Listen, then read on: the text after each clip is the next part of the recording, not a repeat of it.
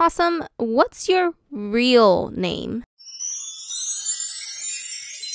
Hey guys, welcome back to Pawesome TV. Do you guys like my new background? It's a My Little Pony themed bathroom.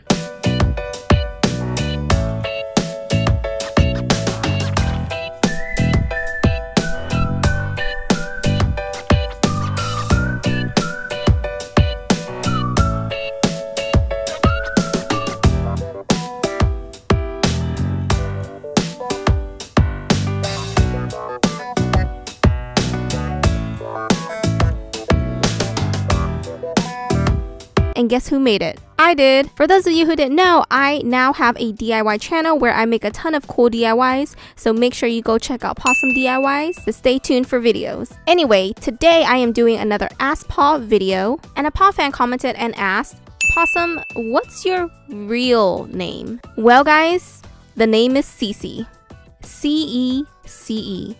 Yep, it's Cece. Now, the reason I'm making this video is because I was actually surprised that some people didn't know my name.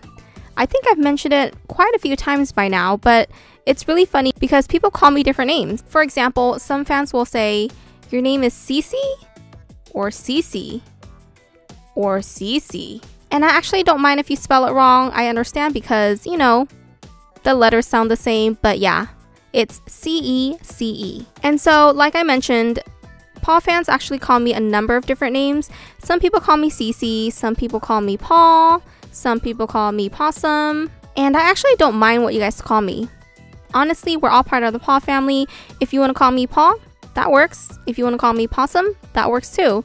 If you want to call me Cece, that also works. And I don't know if it's true, but I think a lot of Paw fans call me Paw because, you know, it kind of goes with my channel, Pawesome TV, and some of them might not know my real name, so that's probably why they use Paw or Pawesome.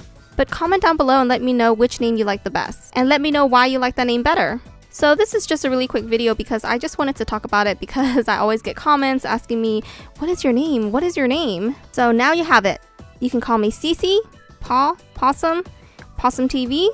I think that's all the names that Paw fans use, but if there are other ones, comment down below and let me know.